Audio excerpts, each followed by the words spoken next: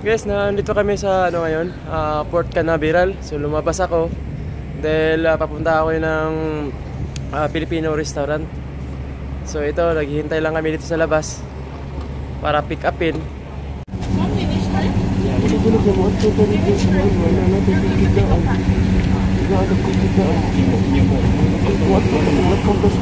Ah, lakaw na ninyo?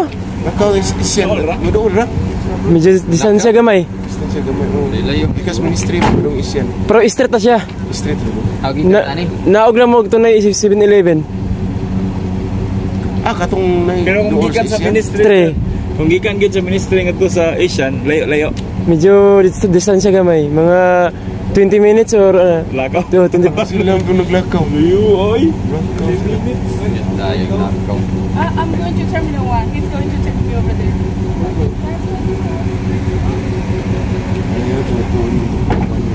Ha? Tuyok pa na ito. Sige na. Ayaw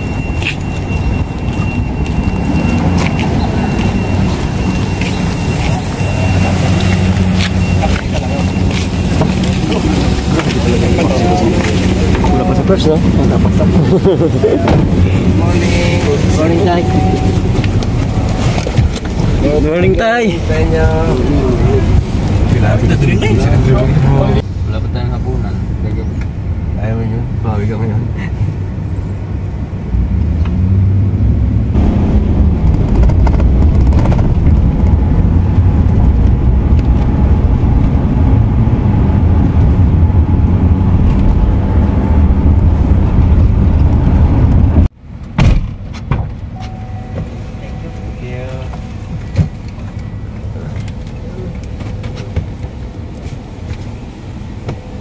Sorry. Eh, salamat ha. Oh, sige, pasok lang tayo.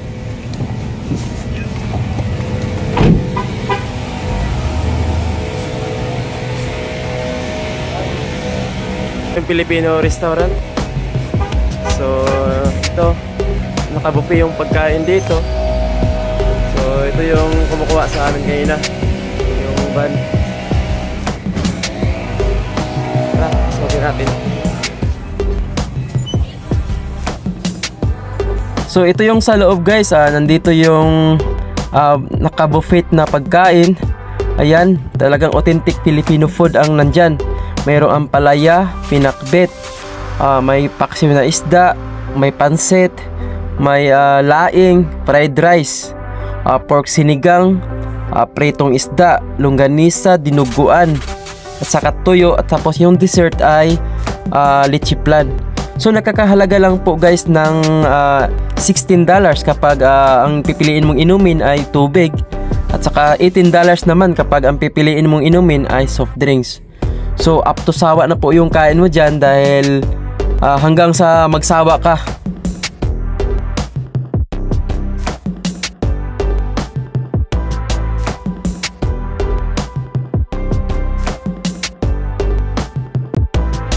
Ito yung kasama ko. Kumain na lang, kumain.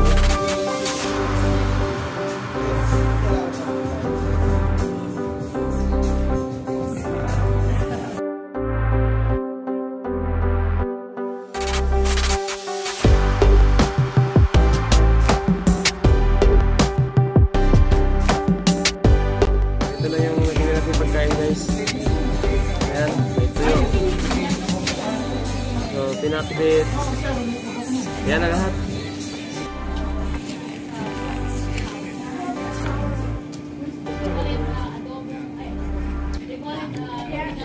So, pasensya na guys dahil gutom na talaga ako dyan.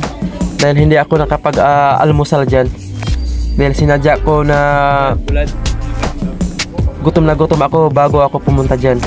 Para masulit natin yung ah, halagang binayad natin na $18.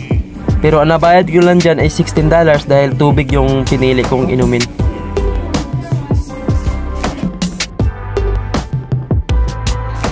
So dito guys, uh, meron is lang padalahan kung pwede kang mapadala ng ah, pera doon sa Pilipinas. So pwede ka rin dito mag-order kung gusto kang bumili ng gadget. Ayan, pwede ka dito mag-order. Tapos mayroong grocery dito. Yan. So ayan guys, pauwi na kami ng barko dahil kailangan din namin ma- magpahinga. So guys, shout out muna tayo sa tropa ko dyan na nasa Australia.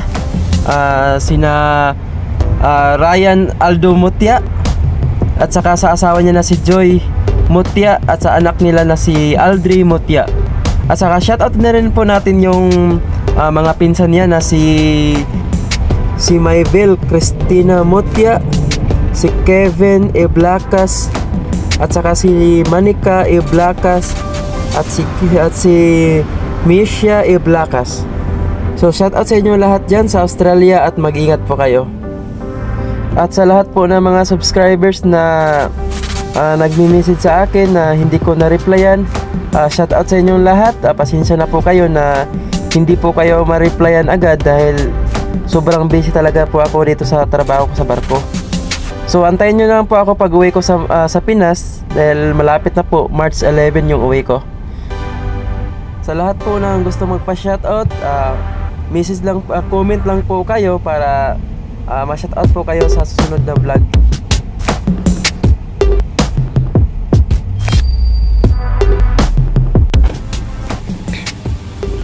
Bumalik kayo ha?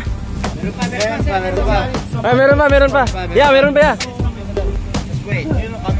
Meron pa dito, dito, sa likod.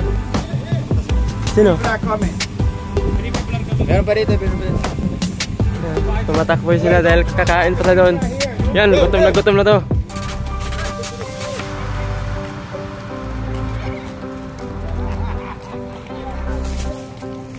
Sunod rin to yung kasama kong si Dodoy Warren.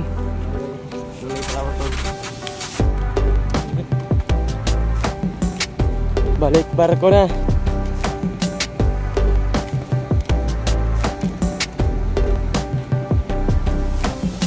Maligsan mga taning kalaki.